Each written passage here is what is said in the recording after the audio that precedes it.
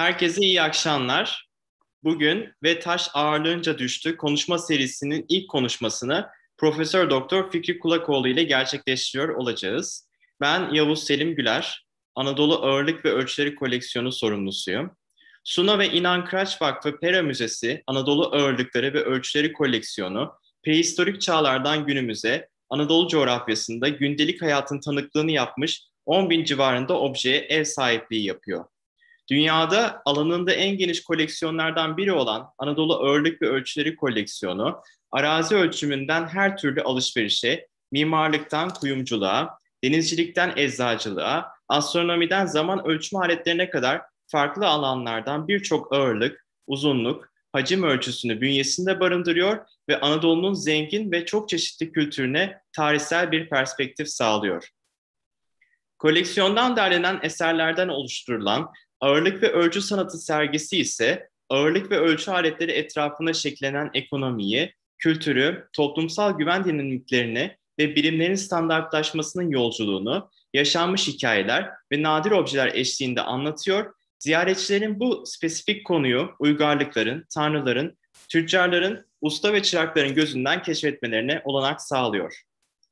Ağırlık ve ölçü sanatı sergisi kapsamında düzenlenen ve taş ağırlığınca düştü konuşmaları, ölçüm sistemlerinin tarihsel süreçteki dönüşümüne odaklanıyor. Adını Homeros'un İlyada destanındaki ve taş ağırlığınca düştü dizisinden alan konuşmaların, sergide olduğu gibi Asur ticaret kolonileri çağı, Hititler, Helenistik dönem, Roma, Bizans ve Osmanlı dönemlerindeki alışveriş, ticaret, ağırlık ve ölçü sistemlerine ışık tutması amaçlanıyor. Serinin ilk konuşmacısı Fikri Kulakoğlu'nu kısaca tanıtmak istiyorum. Kulakoğlu Ankara Üniversitesi Dil ve Tarih Coğrafya Fakültesi Protohistorya ve Ön Asya Arkeolojisi Anabilim dalında arkeoloji lisans eğitimini bitirdikten sonra aynı kürsüde yüksek lisansını tamamladı. 1994 yılında mezun olduğu Anadolu bir ana bilim dalında e, araştırma görevlisi olarak göreve başlayan Kulakoğlu, 1997 yılında Orta Anadolu bölgesinde bulunan eski Hitit Krallık Çağı seramiği konulu teziyle doktora derecesini aldı. 1998'de doçent, 2004'te profesör unvanını alan Fikri Kulakoğlu halen aynı ana bilim dalında görevini sürdürüyor. Anadolu yazılı tarihini 4000 yıl önceye dayandıran belgelerin gün ışığına çıkarıldığı Kültepe kazısının başkanlığını 2006 yılından beri yürüten Profesör Doktor Fikri Kulakoğlu, Kültepe'de ticaret ve ağırlık ölçme sistemi başlıklı konuşmasında Asur Ticaret Kolonileri tarafından kurulan Anadolu'daki en eski uluslararası ticaret sisteminin başkenti Kültepe Kaniş'e ilişkin bilgilerini paylaşacak.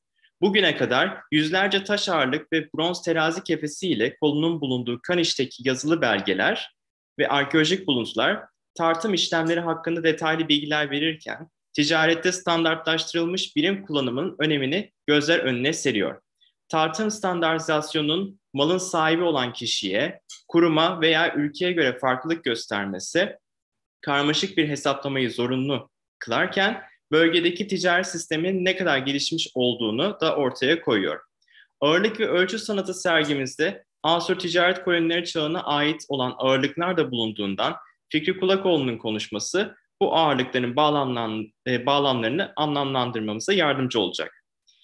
Küçük bir hatırlatma, konuşma esnasında yorum ve sorularınız olursa YouTube chat bölümü üzerinden bize iletebilirsiniz. Konuşmanın sonunda bunları derleyip paylaşıyor ve cevaplıyor olacağız. Şimdi sözü uzatmadan Fikri Bey'e bırakmak istiyorum. Ee,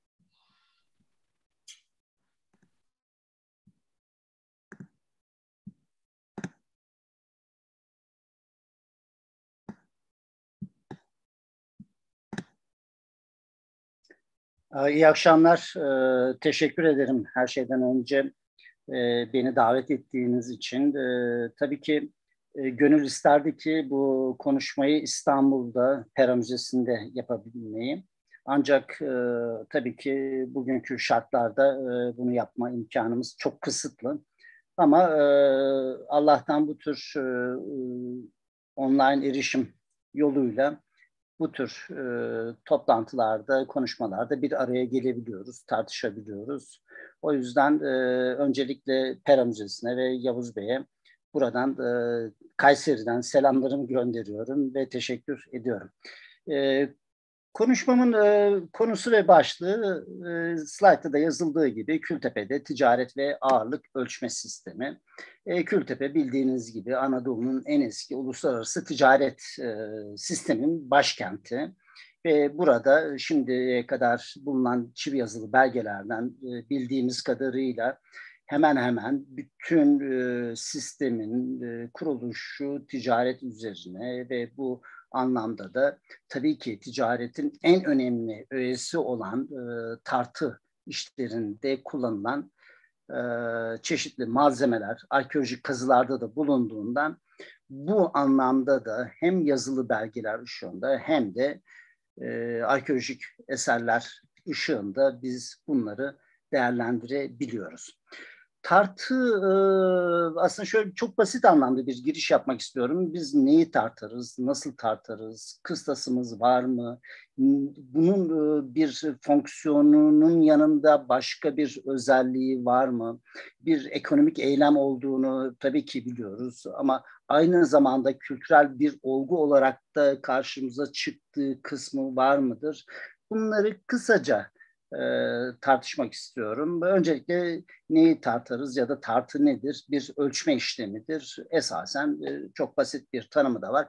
Kütlenin ölçülmesidir. Dolayısıyla bu e, anlamda e, çok gündelik hayatımızda da yer alan en önemli e, işlemlerden bir tanesi. Neyi tartarız? Bazen kendimizi tartarız, e, bazen de e, alışverişte alacağımız malı e, muhakkak ki ya tartarız ya da önceden tartılmış olarak paketlenmiştir. Günümüzde bunu e, rahatlıkla yapabiliyoruz. Nasıl tartarız? Tabii ki bu en önemlisi ama şöyle e, bazen araca da gerek duymadan da tartımlar yapabiliyoruz. Bu he, hepimizin yaptığı bir sebze meyve aldığımız zaman işte bu aşağı yukarı bir kilo oldu, iki kilo oldu. Elimize şöyle bir yoklarız kaç kilodur, e, ne kadar oldu diye.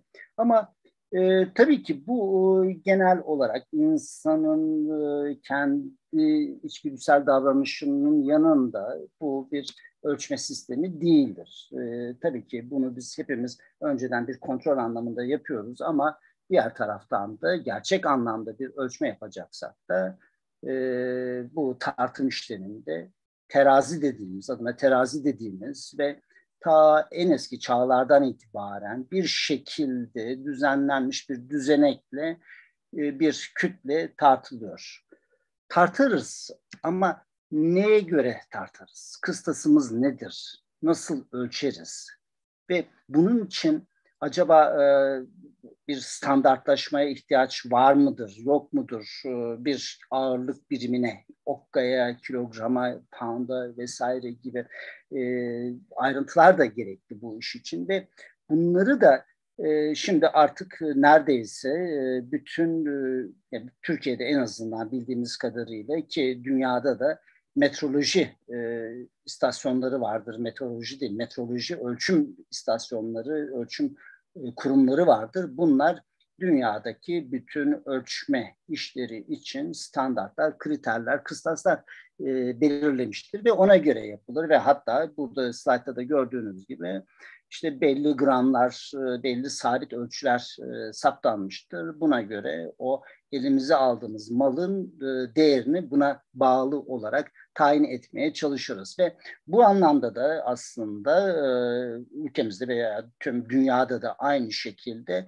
burada yapılabilecek her türlü sahtekarlık içinde bir haksız kazanç içinde önlemler alınmaktadır. Ve bu ticarethanelerdeki her türlü terazi ya da tartı aracı belirli dönemlerde kontrol edilmektedir. Gerektiği zaman bazı aletler, araçlar e, mühürlenmektedir ki e, ayarıyla bir oynama yapılmasın diye. Bu bütün hepimizin günümüzde belki her gün karşılaştığı bir olay halinde ekonomik bir e, pro, e, prosesi yansıtmaktadır. Bunun dışında tartı ile ilgili eski çağdan kalan e, bazı tasvirler var. E,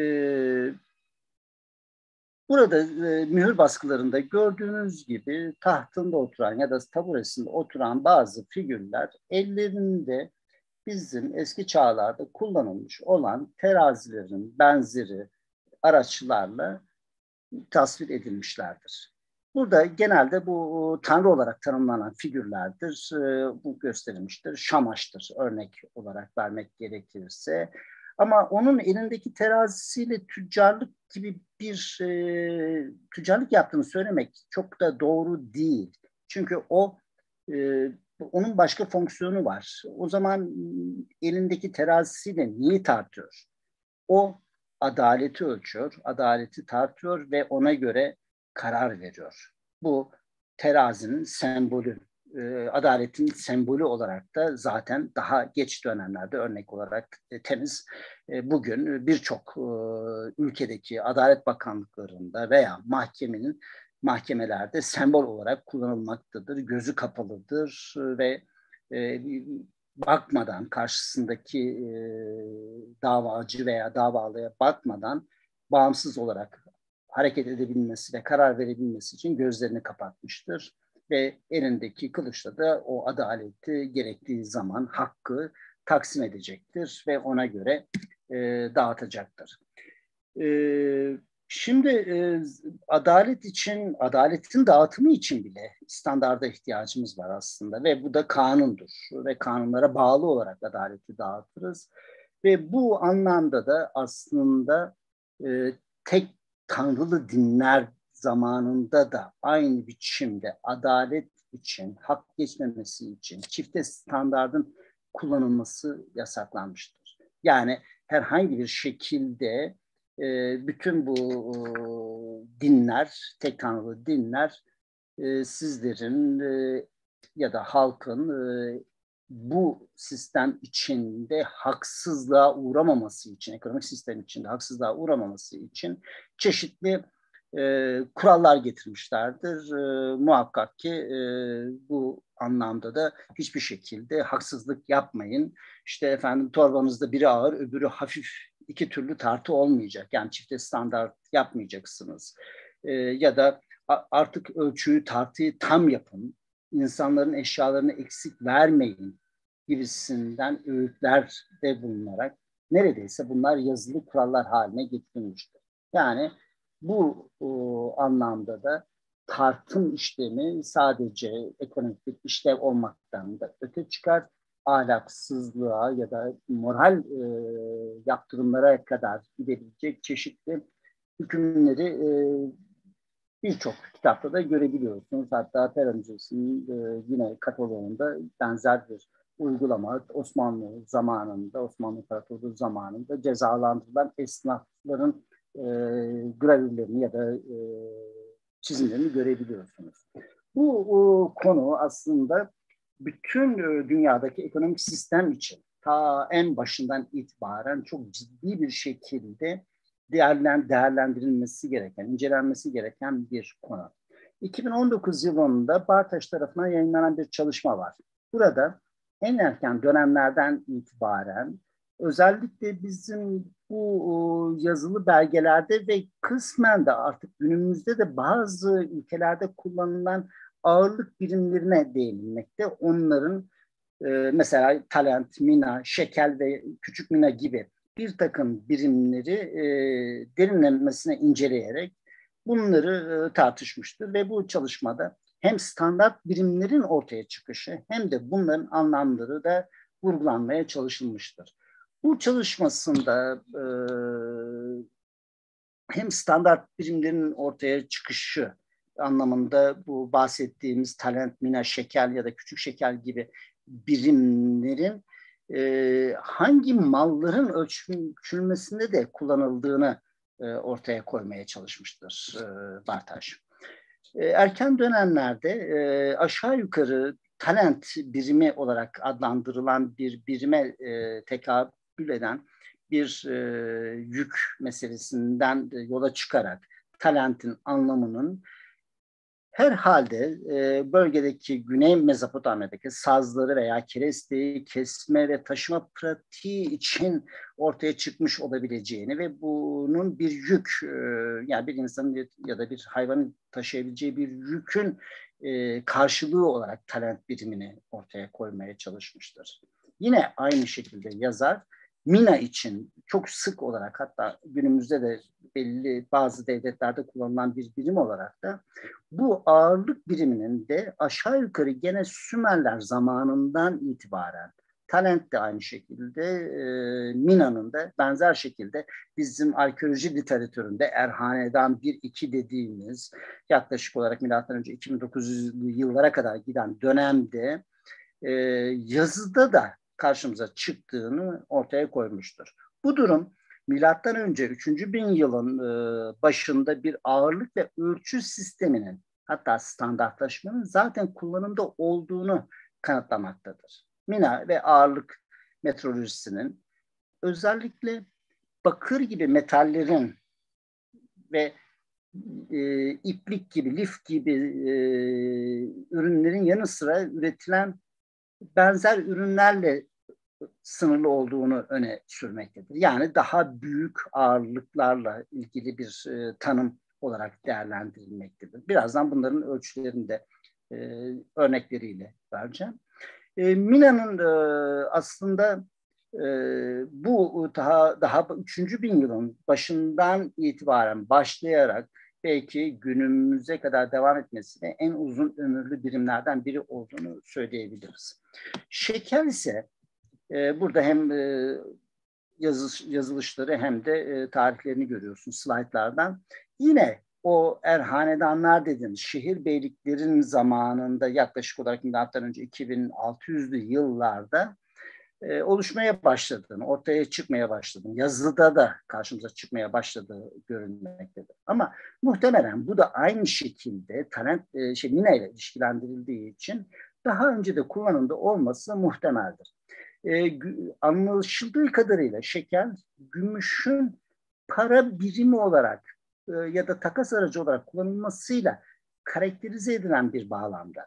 Genellikle metaller e, yani değerli metaller gibi, değerli taşlar gibi daha küçük miktarlardaki pahalı malları ölçmek için e, kullanıldığı önerilmektedir. Ve gerçekten de zaten yaklaşık 8 gramlık bir ağırlığıyla ancak e, bu kadar çok değerli malların, malzemelerin, değerli taşların tartılması için uygun bir birim olarak e, görülüyor. Ve burada talentle, pardon Mina ile olan ilişkisine baktığımız zaman da e, yine e, burada bakır için bir ölçü birimi olan Mina'nın muhtemelen gümüş ve diğer pahalı mallar için bir ölçüm birimi olan şeker arasındaki 1'e 60 oranının ilk kez kurulmaya başlandığını da yine Bartaş önermektedir. Yani e, bir şeker Mina'nın 60'ta biridir ve bu şu anlamda da önemli.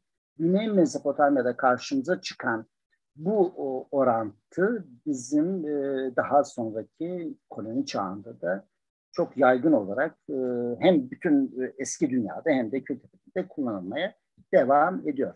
Daha sonra küçük şeker diye adlandırılan bir şey var. O da Akat dönemi dediğimiz yaklaşık olarak milattan önce 2350 yıllara denk gelen bir dönemde ve sonra da yine 3. Ur Hanedanlığı denilen bir dönemde e, oluşturulan e, ekonomik reformlarla ilişkili.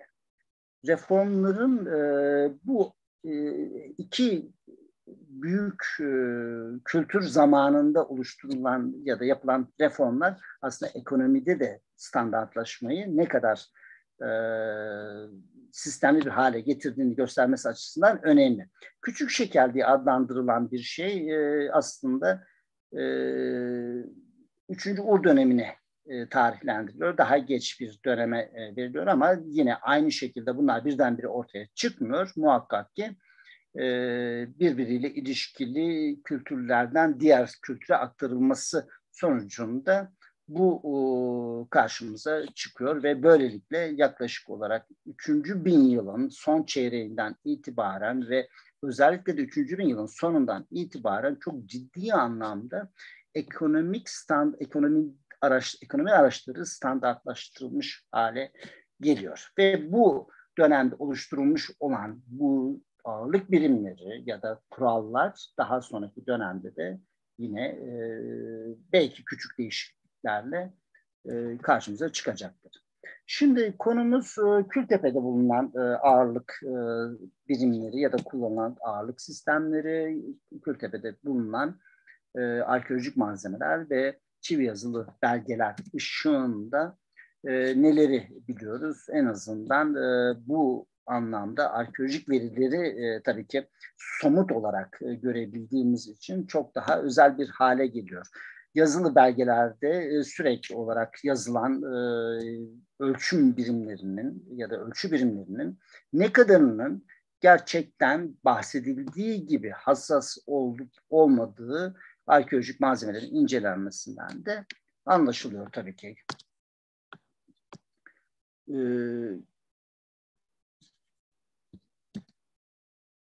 çivi yazılı belgeler bizim e, Kültepe'de yaklaşık olarak yaklaşık 70 yıldır yapılan kazılarda sayıları neredeyse e,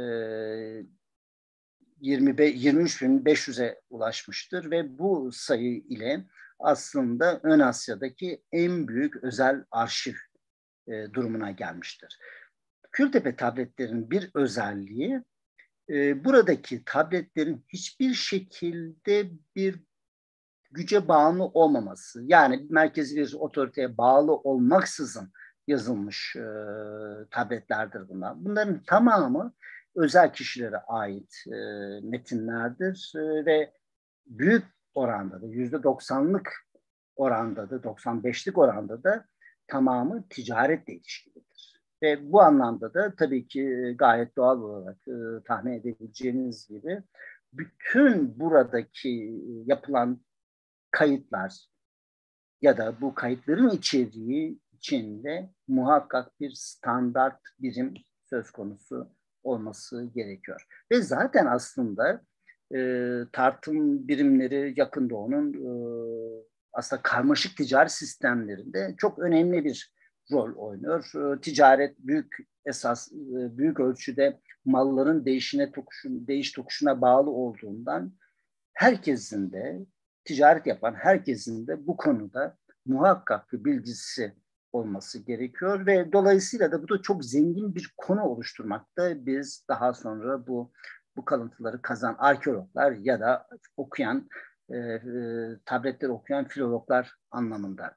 Ve bu e, yazılı belgeler bize e, buradaki bütün bu slaytta da gördüğünüz tüm e, konular hakkında e, hemen hemen hepsi burada bahsedilenlerin hepsi tamamen e, bir standart birim karşılığında yapılan işlemi anlatmaktadır.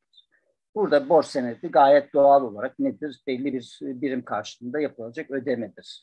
E, gümrük benzer şekilde. Ama onun dışında daha medeni hayata yakın e, konulardan bahsettiğimizde örnek olarak evlenme, boşanma, evlat edinme gibi konularda da yine bu benzer e, sistemlerden e, bilgi sahibi olabiliyoruz. Nasıl olabiliyoruz? Çünkü burada da evlat edinme ya da veraset konularında muhakkak e, belli bir birim karşılığında yapılan bir e, aksiyon var. Yani burada muhakkak ki yapılan işlem karşılığında belli miktarda bir gümüş ya da altın ödenmiştir ki gümüş esas olarak e, neredeyse tüm ticaretin tek takas aracı olarak karşımıza çıkmaktadır.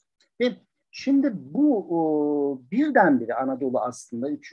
bin yılın sonlarından itibaren başlayan bir ticaret ağı var ama e, esas olarak bu kadar sistemli ve tabii ki yazılı belgeler ışığında bildiğimiz için bu kadar düzenli bir e, ticareti e, ticaret ile karşılaşan Anadolu halkı eminiz ki birdenbire yepyeni bir dünyaya girmiş oldu. Çünkü o zamana kadar yapılmayan sistemli ticaret yani belli bir standardı olmayan malın, e, birimin, ölçeğin e, sonrasında yapılan ticaret e, tabii ki kişiden kişiye değişebilmekte, zamandan zamana ya da yerden yere değişebilmekteydi. Dolayısıyla bu özellikle Asur kentinden kalkıp gelen tüccar, Asurlu tüccarların e, oluşturmaya başladığı sistem aslında bize sadece e, ekonomik olarak e, bir e, getiri getirmiyor. Ama diğer taraftan burada onu vurgulamaya çalıştım. Özellikle de bu ticaret sayesinde yeni fikirler, yeni teknolojiler ve hatta genler geliyor. Biliyoruz ki Kültepe'de oturan bazı tüccarlar e, orada yerli kadınlarla evleniyor, Anadolu kadınlarla evleniyor ve böylelikle de aslında bir anlamda da ticaretin içine, e, pardon yeni genlerin içine giriyor. E, bu sistem içinde bu arkeolojik kazılarda çok sayıda e, ağırlık birimleri de bulundu. Ağırlık birimleri derken burada slaytta basit olarak gösteriyorum. Bu ağırlık birimleri özellikle de e, çoğunluğu hematit olan e, terazi kefesinde yapılan e, tartım işlemleri sırasında bugün için gram diyebileceğimiz e, gramlar olarak e, tanımlanan standart ağırlıklara sahip objelerdir. Ve bunlar e, esas itibariyle de herhalde bu mühür baskısında görüldüğü gibi büyük ihtimalle çift kefeli e, terazilerde tartılarak hesapları yapılıyordu.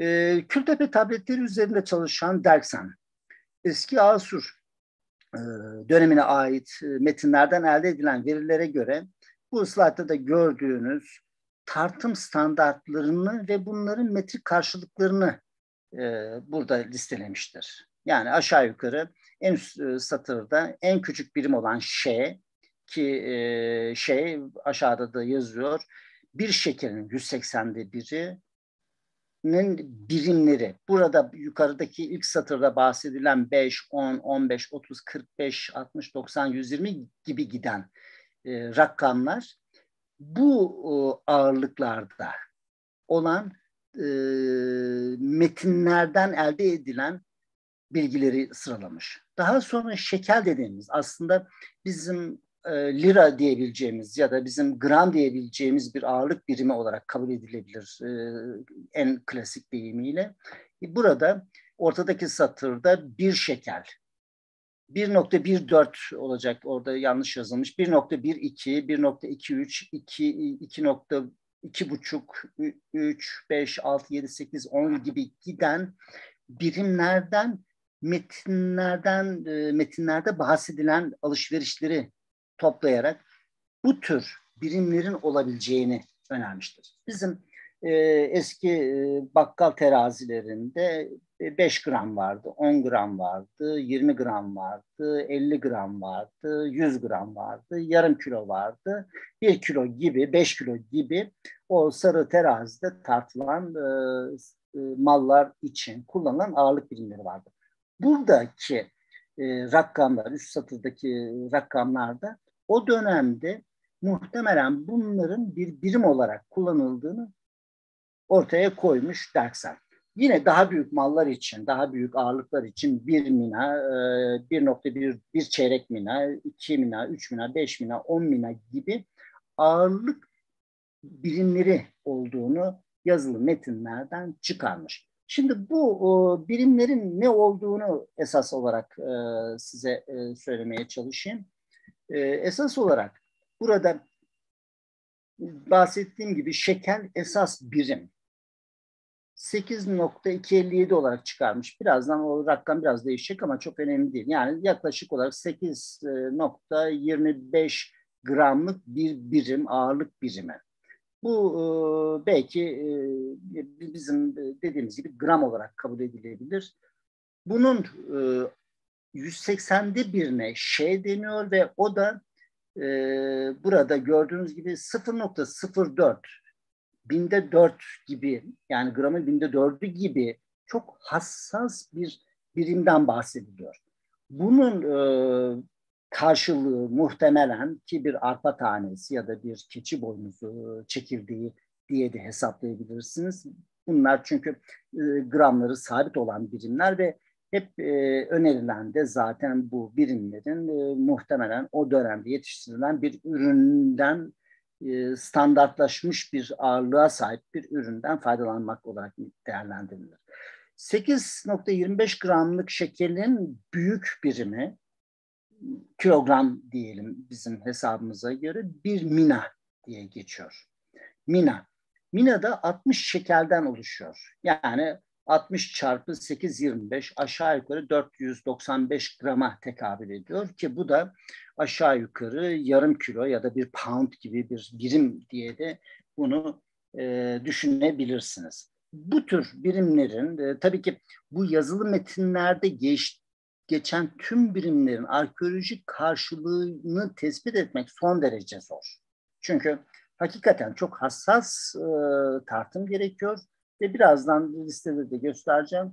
Bunlara denk gelebilecek birçok ağırlık var ama bir insanın elinde bunları değerlendirebilmesi, tartabilmesi o kadar imkansız ki ölçüm yapmak son derece zor. Bugün dijital terazilerde tarttığımız taşlarda bile biz iki ayrı terazide farklı sonuçlar e, elde edebiliyoruz. Şimdi burada e, evet, e, değerlendirilecek olan malzemeler içinde yine ağırlık olarak tanımlanan bazı e, başka e, eserler de var.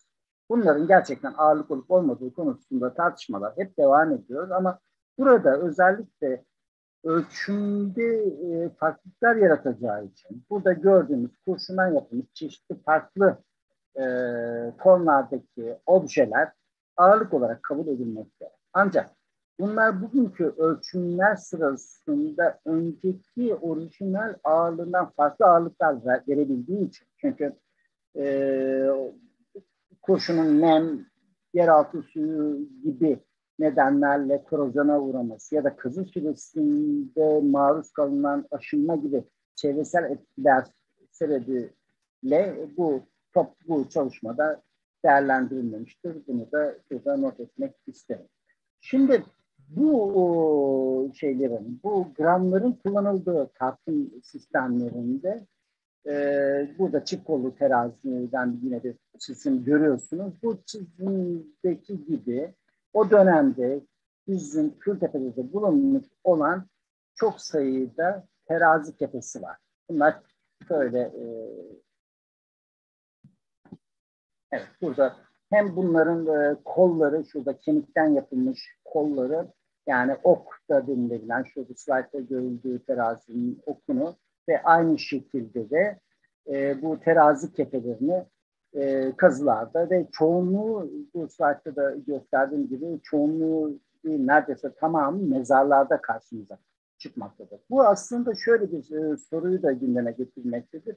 Terazi kefesini mezara niye koyarsınız? E, büyük ihtimalle ya da en azından benim önerim o şekilde bu insanlar öbür dünya inanışına sahip insanlar ve bunlar öbür dünyaya gittiklerinde yine ticaret yapacaklarından, ona inandıklarından yine öbür dünyada ticaret yapabilmeleri için mezarlara bırakılmıştır. Ve bunlar ben e, hemen altı tanesi de çift olarak bulunmuştur. Yani bunlar tekli e, bulunanı azdır. Altı çift e, şeyde tek e, altı çift olarak bulunmuş olmaları da bunların çift kollu terazilere ait olduğu şeklinde de yorumlanabiliyor rahatlıkla. E, Kültepe e, de bulunan e, yaklaşık 200'e yakın e, ağırlık, e, taş ağırlık e, tarafınca çalışıldı. E, aslında çok fazla detaya da hani detaya girmek istemiyorum ama genel olarak taş ağırlıkları form olarak başlıca iki ana gruba ayırmak mümkündür. Birincisi kurma çekirdeği diyebileceğimiz e, ağırlıklar ki onlar içinde de yine bir e, şurada A ile sıralanmış kısımda hurma çekirdeği formlu, e, üçgen prizma formlu, silindir formlu ya da yarı küresel formlu olanları da eklediğimizde bunlar bir ana grup oluşturmaktadır. Bunlar arasında e, burada da görüldüğü gibi hem form açısından hem de malzeme açısından farklılıklar görülmektedir ama esas olarak bu farklılıklar onların fonksiyonunu da değiştirmez. Çekirdek biçimli ağırlıkların yapımında çoğunlukla hematit kullanılmıştır. Bunun tercih edilmesinin en büyük nedeni de gayet doğal olarak tahmin edebileceğiniz gibi ağırlığının kolay kolay çevre şartlarına etkilenmemesi ve dayanıklı olması, aşınmaya dayanıklı olması dolayısıyla bu anlamda da ağırlığın sabit olarak kalabilmesinin sağlaması. Ham maddenin özellikle hematitin e, nereden sağlandığı konusunda bir çalışma yapılmamıştır. Ancak Erciyes'in hemen batısında yani Kültepe'nin çok yakınındaki Yahyalı civarında halen günümüzde de kullanılmakta olan hematit maden yatakları herhalde en başta gelen seçenek olmalıdır. Şeyin yanında, e, hematitin yanında başka taşlar da var. Hematitin yanında e, efendim e, gabro, steatit e, gibi e, farklı e, taşlarda, granit, gabro gibi taşlarda e, hatta dağ kristali de burada zaten en alt sol köşesinde gördüğünüz malzemeler kullanılmıştır. Ama e, genel anlamda gayet e, yaygın olarak bütün e, birazdan başka e, nerelerde de var onları da bahsedeceğim. E, tercih edilen malzeme hematitler. E, bu form aslında çok basit bir form ama çok yaygın bir form. E, bu formun yanında aslında belki daha cazip e, bir form ise hayvan biçimli ağırlıklar olarak karşımıza çıkmaktadır ve bu o, ticari sisteminin e, gerçekten zarif örneklerinden Kültepe'de de çok sayıda bulunmaktadır. Her e, Karum'un ya da Kültepe'nin her seviyesinde bu tür taş ağırlıklar karşımıza çıkıyor. Yani bir dönemden diğer döneme de aktarılmış özellikler olarak karşımıza çıkmaktadır. Ve bunların da yine çoğunluğu hematitten ve bazı durumlarda da diğer sert taşlardan yapıldığını görüyoruz. Ee, bu arkeolojik örnekler açısından baktığımızda ördek ya da kuğu başını geriye çevirmiş, e, başı, e, boynu üzerine ya da sırtı üzerine başını dayamış şekilde e, tasvir edilmiş e, ördek ya da ku, kuğu olarak adlandırılabilecek e, figürlere sahip ya da e, tasarıma sahip ağırlıkların yanında e, efendim kurbağa, arslan ve koç figürleri de görülmektedir. E, arslan biçimli ağırlıklar e, benzer e, örnekler belki biraz daha farklı zamanda olsa da Alalah'tan, Elba'dan, Ugarit'ten yani aşağı yukarı e, Kuzey Suriye'den ve güneydeki Güney, e, Larsa'dan e, bilinmektedir.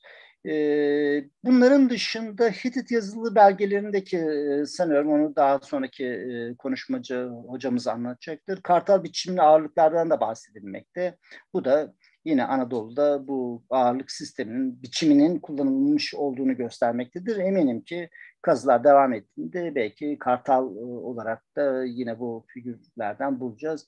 Yine aynı şekilde e, e, mesela taş ağırlıkların yanı sıra insan, hayvan ya da karışık varlıklar şeklinde dökülen metal ağırlıklar da var ama onlar şimdilik Kültepe'de karşımıza çıkmamakta. Şimdi ördek kuğu biçimli e, taş ağırlıklar şurada e, görüldüğü gibi farklı malzemelerden de yapılmış olarak karşımıza çıkıyor. Bir en sağdaki hematit, en üstteki dağ kristali, en alttaki de tam cinsini bilemediğimiz bir e, daha yumuşakça bir taş. Yani diğerlerine göre daha e, dayanıksız bir taştan yapılmış ama aynı formda sahipler ve farklı e, e, birimlere sahipler. Bunlar özellikle e, bu dönem e, ikonografisini çalışan Dominic Colon'a göre uzun boyunlu kuş e, ya da kuş cinsi hayvanlar özellikle Ur şehri ile e, ilişkilendirilmektedir. Ur şehrinin tüccarları ağırlık birimi olarak hayvanlarını tercih etmiş olmalılar. Ancak bazı ördek biçimli ağırlıklar da aslında gerçekten de kazları ya da gerçekten de ördekleri temsil ediyor olabilir. Kültepe ördek Kültepe örnekleri e, genel tasarıma uygun, çerçeve uygun şekilde hepsi başlarını geriye çevirmiş, uyku pozisyonunda işlenmiştir ki bu tarz e, ağırlıklar yakın zamana kadar bütün Ön Asya'da kullanımdaydı. Burada tabii taşın cinsine göre bazı e, detaylar daha iyi, bazı taşlarda işlenmesi çok zor olduğu için örneğin üstteki dağ kristali ne, aslında tam dağ kristali değil, akik benzeri bir e, taştan yapılmış. E, çoğu zaman daha stilize olarak karşımıza çıkıyor. Bu tür örnekler aslında e, Boğazköy'de de bulunmuş. Eminim diğer kazılarda da sanıyorum Acemevköy'de bir tane var. Ama e, bunların e, büyük ihtimalle Suriye ya da Mezopotamya'dan ithal edildiği şeklinde bir görüş var. Fakat e, tabii ki e, gayet doğru bir şekilde tüccarların yoğun olarak gelmeye başladığı bir dönemde çıkması bunların da e, o bölgeden ithal edildiğini düşündürmesi açısından önemlidir. Aslında bunlar e, bu dönemde ortaya çıkan ağırlıklar değil ya da formlar değil, ta, daha Akat döneminden hatta erken hane, er, hanedanlar döneminden itibaren yani yaklaşık olarak 2500'lü yıllardan itibaren bilinen örneklerdir ama ondan sonra da bütün Ön Asya'da çeşitli merkezlerde karşımıza e, çıkıyor. İlginç e, örnekler hemen hızlı bir şekilde bunları sunacağım. Mesela e, kurbağa da yine e, kurbağa biçimli taş ağırlıkta e, geç dönem 1B katı dediğimiz dönemde bir sanduka mezarın e, içinde e, bulunmuş. Hematitten yapılmış ve o taşın sertliğine rağmen e, figür büyük bir ustalık ve doğallıkla işlenmiş olduğunu görüyoruz. Benzer bir örnek Alalah'tan da bilinmekte ancak Alalah buluntusu ile Kültepe buluntusu arasında detaylandırma anlamında fark var. Yine bu tür kurbağa biçim ağırlıklar hem ta Suza'ya kadar giden yani Basra Körfezi'ne kadar giden bölge içinde e, karşımıza çıkmakta. Geç dönemde de örnek olarak e, Uluburun batı içinde de geç Tunç çağına ait e, bir örnekle karşılaşıyoruz. Koçbaşlı e, taş ağırlıklar e, ise e, daha özel bir e, duruma sahip. Şöyle ki bunlar daha stilize işlenmişler ve daha kaba bir şekilde bırakılmışlar. Ve bunlar aslında e, daha sıradan taşlar olarak taşlardan üretilmişler. Kültepe'de iki tane buna benzer şey var, e, ağırlık var. Bunlar e, ağırlık birimi olarak oldukça da e, daha ağır e, taşlar. Mesela buradaki 2,5 kilo e, ve yaklaşık olarak 5 minaya denk gelen bir birime sahip ve bunların esasen e, yine büyük malların, daha ağır malların tartılmasında kullanılmış olabileceğini e, öneriyor e, çalışanlar. Ve hatta bunların yerel üretim olduğu, yani Anadolu üretim, Anadolu sistemi içinde üretilebildiği öneriliyor ama şu burada e, bir farklılık söz konusu. Anadolu sistemi birazdan tartışacağız. Onun e, sistemine e, uyum sağlamıyor. Ve burada e, hatta yine bir e, örnek daha da ağır 10 minalık bir örnek e, açıkçası. Bunlar e, Ugarit'te özellikle bildiğimiz kadarıyla ya da Mezopotamya'da bildiğimiz kadarıyla yün e, ağırlık standart birimi olarak değerlendirilmekte. Yani yünlerin tartılmasında kullanıldığı belirtilmektedir. Bu e, belli formların dışında açıkçası çok sayıda da tanımlanamayan ya da stilize hayvan e, şeklinde denilen bazı ağırlık birimleri var. Aslına bakarsanız e, tabii fotoğraf e, maalesef e, yani renklisi de siyah beyaz çıkıyor çünkü taş da siyah beyaz olduğu için. E, burada ikinci e, taş e, ağırlık aslında e, başını geriye çevirmiş e, kuğu şeklinde. Yine aynı şekilde en sağdaki, en üstteki yine belli belirsiz şurada boyunu boynunu görebiliyorsunuz bir e, şey kabartı şeklinde bir yine aynı biçimde e, bir kuğu modeli. Alttaki ise yine e, bir hayvanı andırıyor ama çok stilize bir hayvan. Dolayısıyla da tam anlamında nedir onu e, çözmek mümkün değil. Ve bu tür e, hayvan başlı e, örnekler açıkçası e, bizim e, en azından benim çalıştığım grup içinde yüzde onluk bir e, sayıya ulaşmakta ve bu e, diğer çekirdek formlu e, ağırlıkların yanında ikinci önemli grubu oluşturmaktadır. Şimdi e, bu o, yaklaşık 200'e yakın e, ağırlık taşının incelenmesi sonrasında oluşturulmuş bir e, tablo var esasen. Ama slide olarak buraya koymak mümkün değildi. Bir birinci sayfası bir de ikinci sayfasını burada koyuyorum. E, sadece burada birazdan o şeylere e, hesaplamalara gittiğimizde bunları daha detaylı olarak e, görebileceğiz. Şimdi özellikle e, bizim bu çalışma sırasında istediğimiz standart birimin saptanmasıydı. E, yaklaşık olarak e, 8 gram ve 8.95'e 99'a kadar çıkan gram arasındaki yaklaşık 40 tane e, ağırlık taşı tarafımca tartıldı. Dijital terazilerde tartıldı ve bir şekere tekabül eden bu ağırlık birimlerinin e, ağırlık taşlarının ortalama ağırlığı yaklaşık olarak yine hep yaklaşık söylüyorum ne kadar dijital dahi olsa yaklaşık olarak belirtmemiz gerekiyor. 8.3 e, grama tekabül ediyor. Bu sistem içinde de aslında Sümer'de, Babil'deki yani orası da Güney Mezopotamya'daki e, ağırlık birimleri sisteminde de 8.33 gramdır bir şekerin ortalama ağırlığı. Bu da aynı şekilde bizim Kültepe'deki e, şeker birimlerinin aynı sistem içinde yer aldığını e, söyleyebiliriz. Derksen tarafından yapılan e, ölçüm de yine benzer bir şekilde benzer bir grama denk geliyordu. Yaklaşık olarak 8.2,5 25'te. Bu biraz daha daha fazla sayıda yapılan değerlendirme sırasında bu yüksek çıksa da sonuçta yine benzer bir şey olduğunu, birime sahip olduğunu söyleyebiliriz. Şimdi ağırlık taşları arasında aslında az önceki slaytta da e, şurada bir tablo için, içinde görebiliyorsunuz. 8'den başlayarak 8, 5, 8, 6, 8, 14, 8, 20 gibi giden bir sıralama ile bu taşlar tartılmıştı, ölçülmüştü.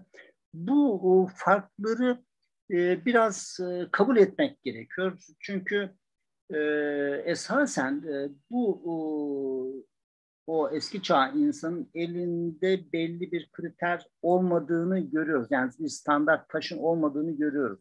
Dolayısıyla da arada hakikaten bugün elle bile ölçülmesi çok zor olan farkların yani biri 8.01, biri 8.08, biri 0.6 gibi farkları normalde anlamak mümkün değil ki bunların bir kısmının da üretimdeki hatalar veya sonraki aşamalarda veya gömme veya kurtarma sırasında ortaya çıkan yanlışlıklar sırasında da e, olmuş olabilirler. Bu tür tutarsızlıklar özel ağırlıkların otoritenin, o dönemdeki otoritenin yani resmi ağırlığına karşı zorunlu olarak kontrol edilmesiyle önlenmiş olabilir. Az önce gösterdiğim gibi nasıl bizim pazarlarda teraziler e, zabıta tarafından kontrol ediliyorsa yine aynı şekilde o zaman da e, o dönemin e, otoritesinin bu ağırlık birimlerini kontrol ettiğini ve bunları e,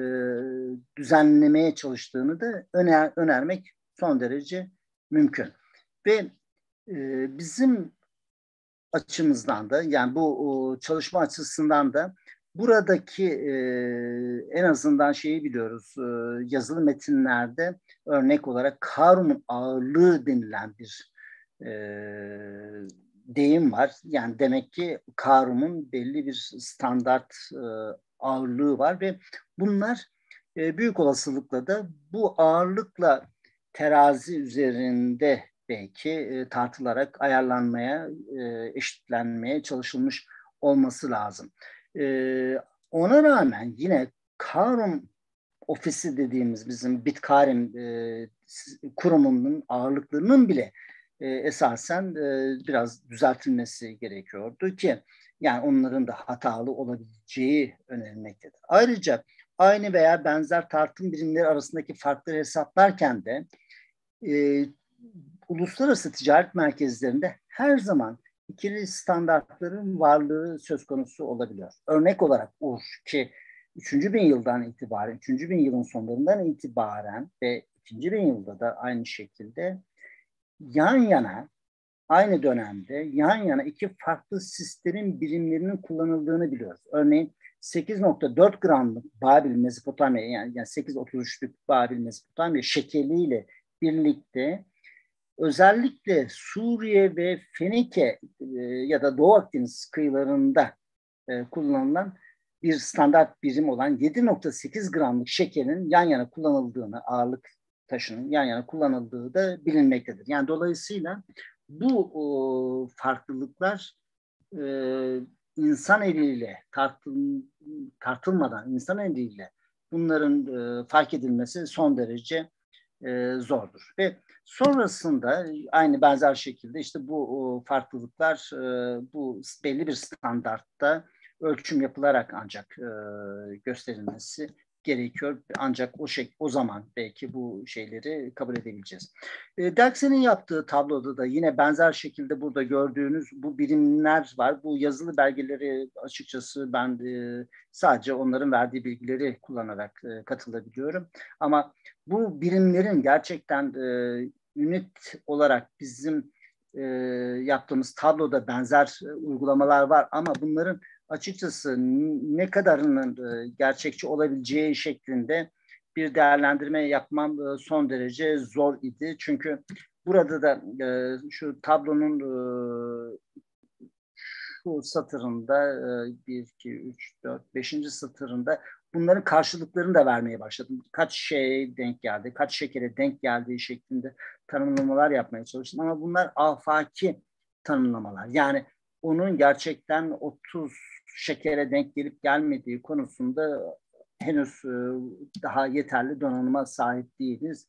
E, çünkü bahsettiğimiz gibi hassas bir ölçüm o, da, o zaman da yapılamadığı için muhtemelen bu kadar küçük birimlerin yani bir nokta çeyrek, e, bir nokta bir buçuk şekerlik bir birimin kullanıp kullanılmadığı anlamında zorlanıyoruz. Ama esas olarak bizi ilgilendiren kısmı o zaman için bir şekerin e, günümüzdeki karşılığının metrik sistemdeki karşılığının 8.3'e tekabül ettiğini söyleyebilmemiz. Ve bu anlamda da e, açıkçası e, ulusal ya da e, o zaman uluslararası sisteminde bir e, standarda sahip olduğunu, tüccarların en azından bu anlamda başarılı olduğunu söylemek mümkün.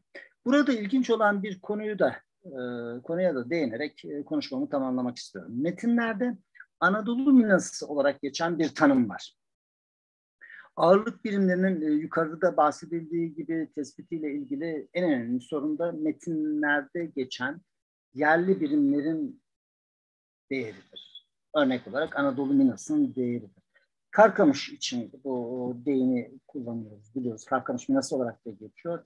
Metinlere göre bir Anadolu minası Mezopotamya minasından yüzde on daha hafif olarak görülüyor. Yani e, bizim bu tespit ettiğimiz sistemde yaklaşık olarak 500 gram gelen bir mina e, eğer bunu standart olarak kabul edersek bunun yüzde on hafifi 450 gram yapar. 450 gram Anadolu minası olarak değerlendirilmekte. 497 ya da 500 gramlık olan ise Mezopotamya bari e, minası olarak kabul edilmektedir. Şimdi e, bu tür e, aslında yarım kilo az bir hafif bir taş değil. Tüccarların Anadolu'daki iş gezileri sırasında bir takım ağırlık taşlarının yanlarında taşıdıklarını biliyoruz. Ve bu ağırlık taşlarının e, ya muhtemelen de büyük bir çoğunluğu Mina'dan daha az ağır olması gerektiği düşünmek çok mantıklı geliyor. Belki e, bunları da taşıyor ama 5 minalık e, ya da 10 minalık bir taşı taşımak hani çok da e, kolay olmasa gerek.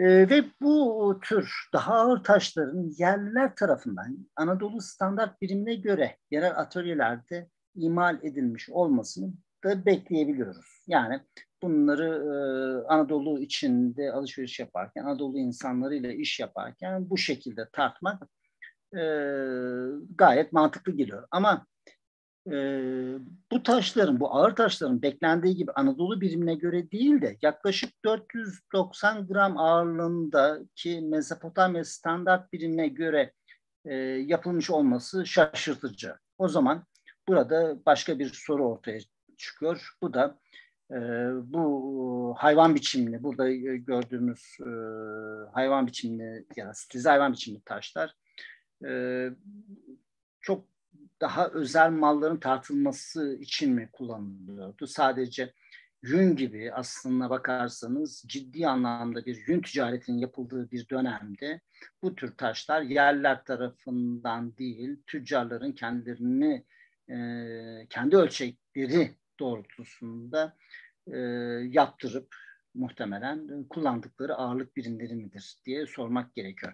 Şimdi bu slaytta da şöyle bir şey var. Aslına bakarsanız o hurma çekirdekli ya da bu hematit ya da iyi işlenmiş e, taşları, taş, hayvan biçimli taşlardan yapılmış e, malzemenin daha çok asurlar tarafından, tüccarlar tarafından tercih edildiği şeklinde bir e, görüşümüz var. Ama burada baktığımız zaman bunların yanında e, yerli olarak kabul edilebilecek e, şurada işte hayvan biçimli büyük ağır taşların e, her modelde de her biçimde de yapılabildiğini görünce demek ki o zaman e, iki kesim arasında muhtemelen bir uzlaşmanın söz konusu olduğunu ve bu standart e, birimlerin e, iki taraf tarafından da kabul edildiğini ve ticaretin de bu şekilde buna bağlı olarak yapıldığını söylemek mümkün oluyor.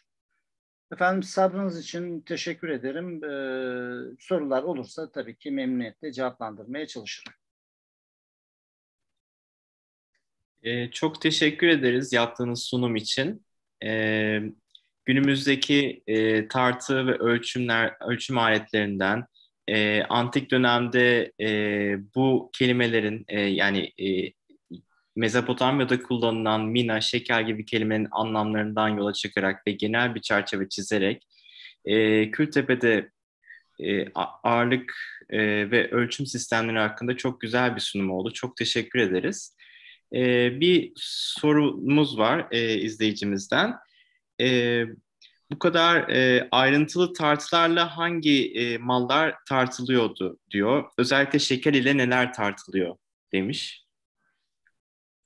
Şimdi e, evet e, doğru bir soru. Şöyle ki e, 8 gramlık bir birim. Tabii ki sadece bir e, birimle tartılmıyor. Yani bir ünitle tartılmıyor. İki, ünit, iki tane gram koyarsınız, iki şeker olur. E, üç tane koyarsanız işte olur aşağı yukarı 25 gram ya da daha büyük e, gramlarla e, mal alırsınız. Şimdi gayet doğal olarak aslında e, Ugarit'teki bir metinden biliyoruz. Mesela ağır taşlarla e, şeyler e, yani artık orada belki kefede değil. Şöyle ki kefenin dışında başka bir araçla tartım yapılıyordu. E, yani 5 kiloyu bir el kefesinde terasında kaldırıp tartmak son derece zor ve onun karşılığında koyacağım mal hele yün ise daha da anlamsız hale geliyor. Yani oraya koyup tartamazsınız. O zaman başka bir sistemde bu terazinin yanında başka bir sistemde e, söz konusu. Buradan bizim o dönemdeki Asurlular zamanında yapılan ticaretin esas öğeleri yün ticareti ve maden ticareti. Yani yünü devre dışı bıraktığımız zaman geriye daha küçük birimlerle yapılan metal e, tartımı kalıyor. Metal tartımı tabii şöyle e, altın her zaman olduğu gibi ağır e, yani şey e, e, pahalı bir malzeme ama en yaygın olarak ve hatta e, neredeyse para birimi diyebileceğimiz şekliyle e, gümüş bir e, şeker gümüş, iki şeker gümüş karşılığında yapılan ya da 10 şeker ya da işte bir mina, mina şeklinde çok az geçiyor bildiğim kadarıyla. Daha çok şeker olarak tanımlanan gümüşler gümüş ile yapılan ödemeler var. Ee, yani büyük bir olasılıkla en başta gümüş çünkü e, o tabloda var idi 0.04 e, gram ağırlığında bir e, ağırlığımız var. Yani e, gramın e, binde biri bile değil. Yani böyle bir ağırlıkla siz ne tartabilirsiniz? Altındır büyük ihtimalle ya da daha değerli bir e, malzeme olması lazım. E, ama özellikle değerli taşlar tabii ki aynı şekilde tartılıyor. Ama esas olarak gümüş ve altın küçük birimlerle. Ama dediğim gibi sadece bir ünit, bir gram yani bir taş koyarak ölçmeyebilir. Beş tane taş da koyabilir. 10 tane taş da koyabilir. Ya da e, o şekerlerin 100 gramlığı da var, 250 gramlığı da var. Bunlardan da koyabilir. Ama e, sonuçta burada hele bizim kazılarda bulduğumuz kefelere de dikkat edersek, kefeler aslında Kötepe kefeleri diğer Ege ve Sümer ya da Mezopotamya kefelerinden ayrılıyor. Bizimkiler yaklaşık 8, 9, 10 santimetre çapında kefeler ama orada 50 santim e, büyüklüğünde kefeler var. Ya, ya biz onları bulamadık henüz. Hı hı. E, o da mümkün. Ama küçük kefeyle... Belki organik maddeden yapılmış olabilir mi? Yani Efendim? daha e, kalıcı olmayan bir malzemeden yapılmış olabilir der mi o büyük kefeler belki de? Tabii ya muhtemelen de öyle bir şey var. Ama işte yani e, onların mezarlarda hiçbir kanıtısı gelmedi. Yani bilemiyoruz açıkçası muamma, bilinmeyen bir konu. Her şeyi bilmemiz de mümkün değil zaten. Ama bu küçük terazi kefelerinde tartılabilecek malın e, cinsi de aşağı yukarı belli oluyor. Yani küçük bir e, ürün olacaktır. E, pahalı bir ürün olacaktır ki aslında o küçük kefeleri de sarraf kefesi diyorlar. Hı hı. Ee, bir de şeyi sormak istiyorum. Ee, siz burada e, birçok ağırlığın e, hepsini dijital tartıda ölçerek e, kaç grama denk geldiğini buldunuz. Hatta e, farklı e, terazilerde farklı ağırlıklarda bulduğunuzu söylemiştiniz. E, burada e, sizin bir ortalama olarak 8-29 gram e, bulduğunuzu e, Kültepe için söylemiştiniz.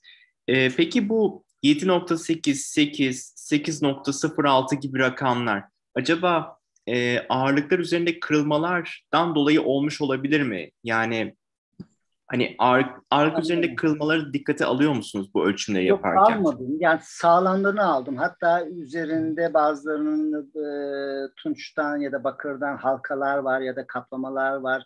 Hatta üzerinde çizikler varsa dahi onları almadık. Çünkü e, yani standardı bozacak. Ha belki kasıtlı olarak da öyle o hale de getirilmiş olabilir. Mesela evet. bazı çekirdek biçimli ağırlıklar var. ikiye kırılmış o büyük ihtimalle. Fakat onu hmm. sonradan hmm. düzeltmiş. Onu aldık. Çünkü o tekrar kullanılmış belli ama evet. kırık olanı yani hem kazıda kırık bulunmuşu hem de o şekilde hatalı olan e, ağırlıkların hiçbirini tartmadım çünkü e, tamamen e, o sistemin yani sistemi bozacak e, şeyler çıkacak sonuçlar çıkacak ama yani e, burada e, gayet doğal olarak o adamların elinde bir şey yoktu.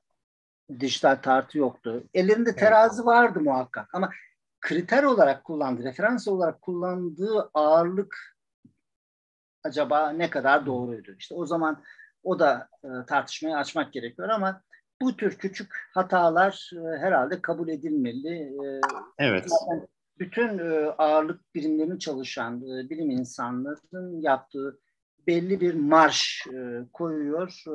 İşte belli bir grubun ortalamasını alarak ort, ortalamayı kullanıyor.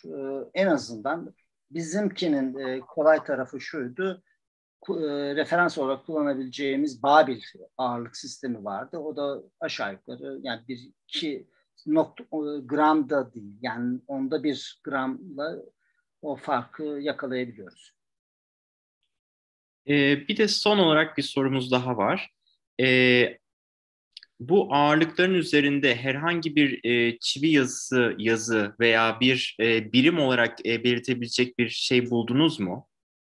Biz bulmadık, biz bulmadık ama e, e, bir e, taş için e, bir dağ kristalinden bir taş var. Ağırlık birimi olarak kullanılmış. Yine aynı benzer çekirdek formlu. Tabii o benim malzemem olmadığı için oraya hiç karışmadım. Öyle çok nadir de olsa o tür örnekler var. Bizde çizilerek yapılmış ya da nokta konulmuş örnekler var. Fakat onlar hiçbir birime uymuyor. Yani üzerinde dört tane nokta e, oyulmuş fakat herhangi bir e, birime uymayan taşlar ya da orada yüzde birlik değil, onda birlik hatayı bile görmemek gerekiyordu. Belki de öyle bir şey vardı. Anladım. Ee, çok teşekkür ederiz e, yaptığınız sunum için, e, verdiğiniz cevaplar için. E, böylece e, ve ağırlık e, ve e, ağırlık e, kendi ağırlığınca düştü e, konuşma serimizin ilk konuşmasını bitirmiş olduk. E, çok teşekkür ederiz. Ben teşekkür ediyorum. İyi akşamlar. İyi akşamlar.